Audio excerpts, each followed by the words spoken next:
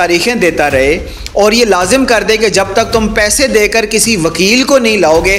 तब तक मैं तुम्हारी बात नहीं सुनूँगा, तब तक तुम्हारी बात का फैसला नहीं दूँगा। चोरी करने वाले की सज़ा हाथ काटना हो गैर शादीशुदा का जो जना करे उसकी सज़ा सौ कोड़े हों, जो शादीशुदा जना करे उसकी सज़ा तो तीन नशिस्तों से ऊपर भी अगर कोई केस जा रहा हो तो वो फिर अपर कोर्ट में रेफ़र होना चाहिए या फिर कॉल होना चाहिए ब्रिगेडियर को अपर कोर्ट की तरफ़ से कि ये आपने इसका फ़ैसला क्यों नहीं सुनाया।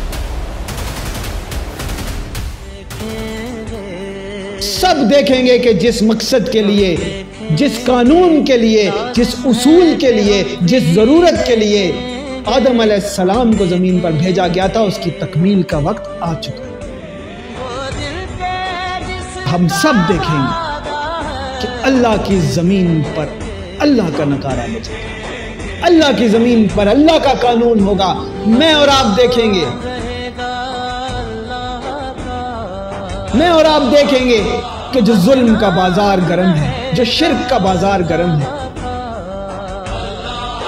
जो तखलीक आदम से लेकर आज तक अल्लाह की ज़मीन पर जुल्म सितम अल्लाह की ज़मीन पर अल्लाह की नाफरमानियाँ हो रही हैं, उनके कला कमा का वक्त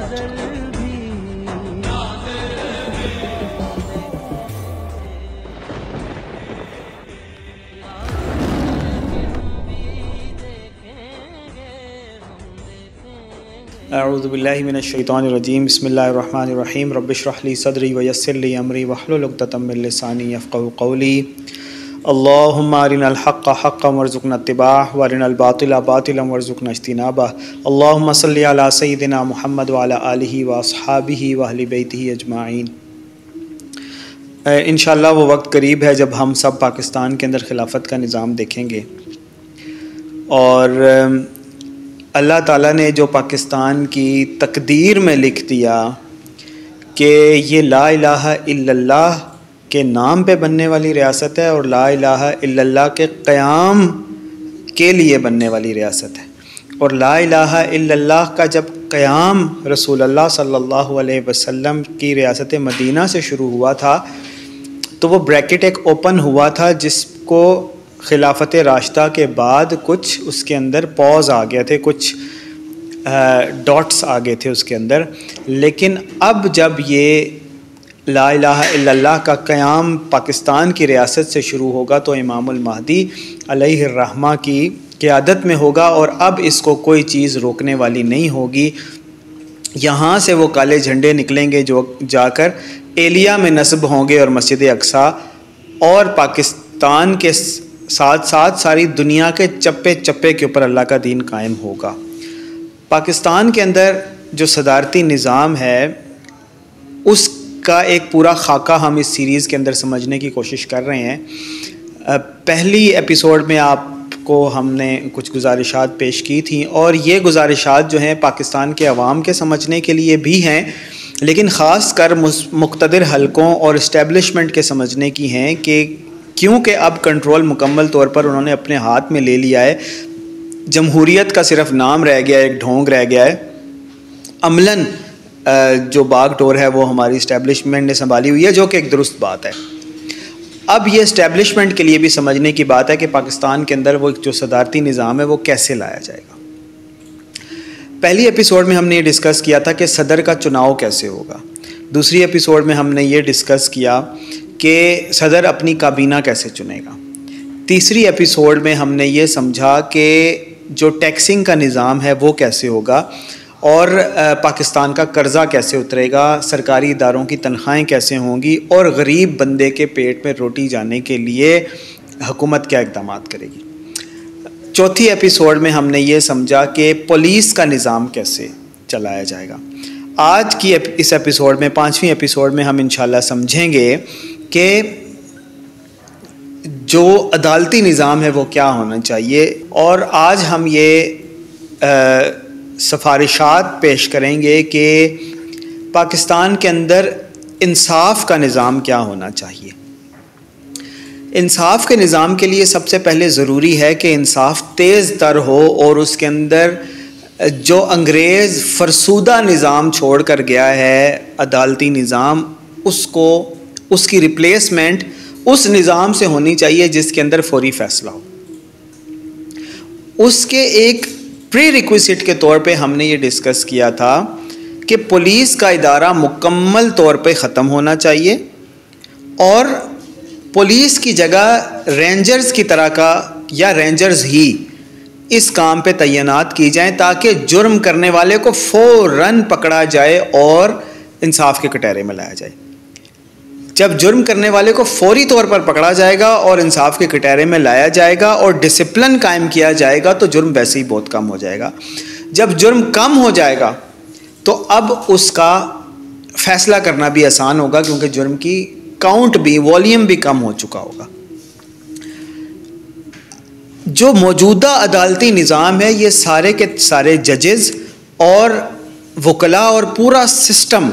ये इस बेस पे बना हुआ है कि पाकिस्तान का एक आइन है जिसकी शिक्कें अंग्रेज़ के दौर से जाकर मिलती हैं। हमारा जो मौजूदा अदालती निज़ाम है, इसकी सारी की सारी बुनियादें अंग्रेज़ के छोड़े हुए एक फरसुदा निज़ाम के ऊपर हैं, जिसकी बहुत सारी शिकें ऐसी हैं, बल्कि ज़्यादातर शिकें ऐसी हैं जिसका इस्लाम से दूर दूर तक कोई ताल्लुक़ नहीं। कोई चोरी करे तो उसको जुर्माना कर दो, कोई डाका डाले तो उसको जेल में डाल दो, कोई जना करे तो उसको भी कैद की सज़ा सुना दो। हर चीज़ की सज़ा इन्होंने मुजरिम से पैसे लेने पे या मुजरिम को किसी कमरे में कुछ अरसे के लिए बंद करने किस फॉर्म में रख दिए इसके अलावा इस निज़ाम को कोई और तरीका आता नहीं। और जो जेल का निज़ाम है, पूरी दुनिया में हर जगह पे एक ही तरह का है कि वहाँ पर जाने वाला जुर्म में बढ़ता ही है, जुर्म ज़्यादा सीखता ही है और जेल जो है वो जुर्म के एक अड्डे बन चुके हैं जुल्म के एक अड्डे बन चुके हैं और जहाँ पे जाने वाला वहाँ से मज़ीद मुजरिम बन के वहाँ से मज़ीद बुली होकर और नुकसान उठाकर ही आता है। उससे उस जेल के निज़ाम से इस अदालती निज़ाम से इस सज़ाओं के निज़ाम से ना आवाम को कोई फ़ायदा होता है ना मुजरिम को ही सज़ा मिलती है और कैफरे किरदार तक तो पहुँचना कोई आ, ये तो वर्ड ही नहीं है इस अदालती निज़ाम में। लिहाजा इस अदालती निज़ाम को एक ऐसे अदालती निज़ाम से रिप्लेस होना चाहिए जिसके अंदर फौरी इंसाफ हो। मुजरिम को फौरी पकड़ा जाए और फौरी इंसाफ हो, जैसे रसूलुल्लाह सल्लल्लाहु अलैहि वसल्लम और खुलफ़ाए राशिदीन और उनके मुकर करदा गवर्नरों के पास जब भी कोई मसला लाया जाता था, उनकी अवलिन कोशिश यही होती थी कि उसी जगह पर हाजिर किया जाए। गवाहों को भी, मुजरिम को भी, मुलजिम को भी और इल्ज़ाम कुनिंदा को भी। रसूलुल्लाह सल्लल्लाहु अलैहि वसल्लम का तरीका ये था कि जब भी उनके पास किसी मसले को लाया जाता था, किसी मुजरिम को लाया जाता था, किसी मुलजिम को लाया जाता था तो उनकी कोशिश ये होती थी कि उसी वक्त में फौरी तौर पर गवाहों को भी बुलाया जाए, मुलजिम को भी बुलाया जाए, मुजरिम को भी बुलाया जाए, इल्ज़ाम कुनिंदा को भी बुलाया जाए। तमाम पार्टीज़ को वहाँ पे बुलाकर उनकी बात सुनी जाए और फौरी तौर पर फैसला दिया जाए और ज़्यादातर केसेस में एक ही महफिल में वो फैसला निपटा देते थे। होना ये चाहिए कि जब भी कोई केस हो, कोई भी जुर्म हो या कोई भी इल्ज़ाम लगाया जाए तो उसको फौरी तौर पर काजी के सामने लाया जाए। और बजाय इसके कि काजी उसको लिटिगेशन में डालकर तारीखें देता रहे और ये लाजिम कर दे कि जब तक तुम पैसे देकर किसी वकील को नहीं लाओगे, तब तक मैं तुम्हारी बात नहीं सुनूँगा, तब तक तुम्हारी बात का फैसला नहीं दूँगा। इसकी जगह पे ऐसा होना चाहिए कि काजी मुलजिम की भी बात सुने और इल्ज़ाम कुनिंदा की भी बात सुने और इल्ज़ाम लगाने वाले को भी कहा जाए कि गवाह हों और जिसके ऊपर इल्ज़ाम लगाया गया है, उसको अपनी सफ़ाई में भी गवाहियाँ पेश करनी हों। इस सारे सिस्टम को सपोर्ट करने के लिए बहुत ज़रूरी है कि जो गवाह हैं, उनकी स्क्रूटनी बहुत अच्छे तरीके से हो और ये काम करेगी इंटेलिजेंस हर एक बंदे के बारे में एक डेटाबेस मौजूद होता है हमारे इंटेलिजेंस के पास। अगर ना भी मौजूद हो तो वो बहुत आसानी से उस इंटेलिजेंस सिस्टम्स जो उनके पास, अल्लाह ने जो इक्विपमेंट और डिवाइसेस उनको दी हुई हैं जो एक सिस्टम दिया हुआ है, उसके ज़रिए वो बहुत आसानी से उस इंटेलिजेंस को कलेक्ट करके एक बंदे का डाटा बना सकती हैं। लिहाजा हम चीज़ों को ज़्यादा स्ट्रिक्टनेस की तरफ़ जाते हुए देख रहे हैं। पुलिस ऐसा इदारा जो बना तो लोगों की असलाह के लिए था, लेकिन उसका सारा का सारा ज़ोर अपना फ़ायदा हासिल करने में होता है कि किस से मुझे कितना फ़ायदा होगा, कहाँ से हमें भत्ता ज़्यादा मिल सकता है, कहाँ से हम लोगों को दबा कर अपना फ़ायदा हासिल कर सकते हैं। उसकी जगह पे आप रेंजर्स को ले आएँगे, जो कि स्ट्रिक्ट निज़ाम होगा, जिनका डिसिप्लिन भी स्ट्रिक्ट है और जिनको मिलिट्री डिसिप्लिन के तहत सज़ा दी जाती है गलती करने के ऊपर। लिहाजा वो रिश्वत लेना और अपने फ़ायदे के लिए मुजरिम को छोड़ देना, इसका जो इम्कान है बहुत कम हो जाएगा। जब मुजरिम ला, लाया गया, अब उसको अगर अदालत में ले जाएँगे, जैसा कि हमारी मिलिट्री कोर्ट्स को बार बार बनाया जाता है, ताकि जो टेररिज्म है, वो जिनको, जिस तरह के लोगों को फौज हैंडल कर रही है, जब उनको आप इन आम अदालतों में भेज देंगे तो वो इस सिस्टम से बड़ी आसानी से निकल जाएँगे। झूठे मुकदमे, झूठे गवाह वकीलों की तरफ़ से झूठे शिकें, झूठे जवाबात, ये सारे आम हैं अदालतों में। वकील करने का रवाज तो है ही, अब तो जज भी कर लिए जाते हैं। और कितने ही वाक़ात हैं, आप सबको पता है कि जिसके अंदर वो इन्फॉर्मेशन लीक हुई कि जज किसी असर रसूख वाले बंदे से डर कर या उससे फ़ायदा लेकर मामला तय करते हुए पाया गया। लिहाजा जब मुजरम को पकड़ रेंजर्स रही है तो क्यों ना रेंजर्स के रीजनल हेड को काजी का दर्जा दिया जाए मजिस्ट्रेट का दर्जा दिया जाए। एक ब्रिग, हर ब्रिगेडियर लेवल के जो ऑफिसर हो रेंजर्स का ऑब्वियसली इसके लिए हमें इसकी तादाद बहुत ज़्यादा बढ़ानी पड़ेगी रेंजर्स की हायरिंग बढ़ानी पड़ेगी लेकिन जो भी ब्रिगेडियर लेवल का ऑफिसर हो वो अपने एरिए का मजिस्ट्रेट भी हो। मुजरिम उसी के सामने लाया जाए और जो जिस मुजरिम को जिस कॉन्टेक्स्ट में पकड़ा गया है, चाहे वो इल्ज़ाम किसी ने लगाया है, चाहे गवाह मौजूद हैं, चाहे कोई रिपोर्ट रेंजर्स के रेंजर्स तक पहुँची थी, उन सबको, तमाम पार्टीज़ को वहाँ पे बुलाया जाए और एक ही नशिस्त में वो ब्रिगेडियर फैसला दे दे। ज़्यादा से ज़्यादा दो नशिस्तें हो जाएँ, तीन नशिस्तें हो जाएँ, तीन नशिस्तों से ऊपर अगर कोई केस जा रहा हो और तीन नशिस्तों का भी वक्त हो कि एक नशिस्त एक हफ़्ते से ज़्यादा डिले नहीं हो सकती। तो तीन नशिस्तों से ऊपर भी अगर कोई केस जा रहा हो तो वो फिर अपर कोर्ट में रेफ़र होना चाहिए या फिर कॉल होना चाहिए ब्रिगेडियर को अपर कोर्ट की तरफ़ से कि ये आपने इसका फ़ैसला क्यों नहीं सुनाया। कहने का मकसद ये है, मिलिट्री कोर्ट्स टाइप का कोई सेटअप होना चाहिए, जो, जहाँ पे और भी ज़्यादा स्ट्रिक्ट किया जाए छोटे मामला को कि जहाँ पे इल्ज़ाम कुनिंदा गवाहान और मुलजिम को पेश किया जाए, जो ज़्यादा से ज़्यादा तीन नशस्तों के अंदर फ़ैसला देकर सज़ा भी दे दे। जो चोरी का केस है, डाके का केस है, इसी तरह से कोई हेरा फेरी का केस है, आम मामला जो होते रहते हैं, उस तरह के केसेस जो हैं वो रीजनल कोर्ट्स में हो।